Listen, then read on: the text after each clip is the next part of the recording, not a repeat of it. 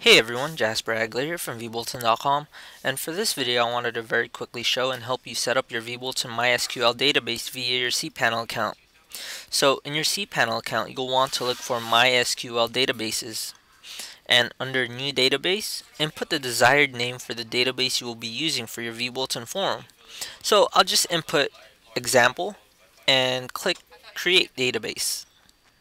And once my database has successfully been created, I'll click on go back. And here's the database I just created. Now I just need to create and assign a user to the database.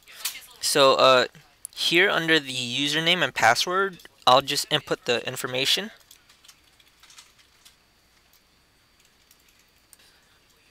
And click on create user. Now I'll click on go back and so here's the username. Now we just need to assign the user we just created to the database. So under add user to your database, choose the user we just created and then choose the database you want to assign it to. So I'll just choose the example database we recently created as well.